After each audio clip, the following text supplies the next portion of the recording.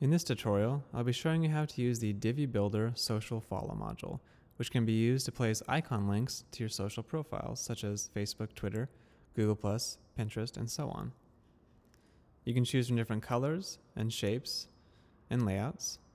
Now, a great place I might want to use this, for example, would be on my blog page. So here's a page I've built with the Divi Builder. On the left, I have my blog module, and on the right, I have my sidebar. And I'd like to place some social follow icons above my sidebar so that my visitors can follow me on Facebook and Twitter. So I'm going to edit this page and uh, we'll show you how to configure this module. So on the right here, I'm going to click the Insert Modules button and look for that Social Follow module, which is towards the bottom. And once you um, click on the Social Follow module, you'll be greeted with the Social Follow module settings. And it's broken up into a couple different tabs here. And in, as a general philosophy, Everything you need to build a really great page in Divi can be found in the general settings, but if you'd like to venture into our custom CSS settings, you can do that as well. And you can apply custom CSS to um, the module as a whole or individual mod, uh, parts of the module as well. But in this uh, tutorial, I'm just going to focus on the general settings. If you want to learn more about our custom CSS tab, be sure to check out my other tutorial back on the main documentation page. So heading back to the general settings, now, the way the social media follow module works is it's actually a collection of individual um, links. And so you, you, can add each link uh, to each social profile individually up here. So the first thing you're going to want to do is click the Add New Social Network button. And here you can choose which network you want to add, which will control the icon that is used for that button. So if I choose Facebook, it's going to be a Facebook icon. And then you're just going to want to input the URL to your Facebook profile, whatever that may be. You want to input the full URL, not just your username. So here I've put in facebook.com slash elegant themes. And you can choose an icon color as well, but by default, it'll use the um, standard color for that profile. So Facebook uses this dark blue, and I'm just going to leave it that way and save. And you can add um, any number of links. If I want to add one to Twitter, I can do that as well. Just click the Add New button, choose Twitter, input your URL again, twitter.com slash elegant themes. And again, you can change the color if you're not, if you if you like, but in this case, I'm not going to. I'm just going to leave it the default blue. And as you can see, this blue is a little different because it's Twitter. It's a little bit lighter. And you can keep adding more and more links that way, depending on which uh, you know social media services you use.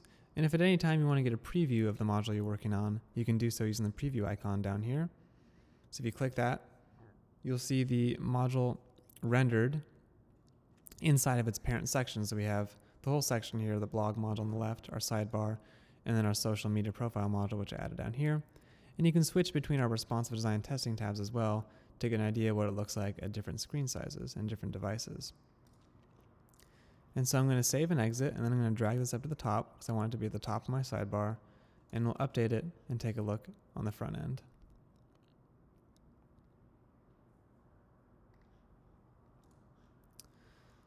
So as you can see, my social media links have been added above my sidebar, which is great. Now my visitors can follow me. And um, you can also choose between different layouts and, and shapes as well. So if we head back into the settings here, on the main general settings here, you can choose a couple different things. So I'll go through each of these general settings as well. You can choose a shape, either rounded, rectangle, or circle. So if I switch to circle and take a look, using the previewer, you'll see that the icon um, container has been changed from a rounded rectangle to a circle. You can adjust the text color. Um, in either that would be either light or dark depending on the um, background you're using. So right now I have a white background, and so I'd want, probably want to use dark text. Um, and the text color applies to the um, optional follow button text, which I'll go over in a second. Actually, I'll just enable that right now. So by default, we just have the icon, but you can also enable follow text, which kind of like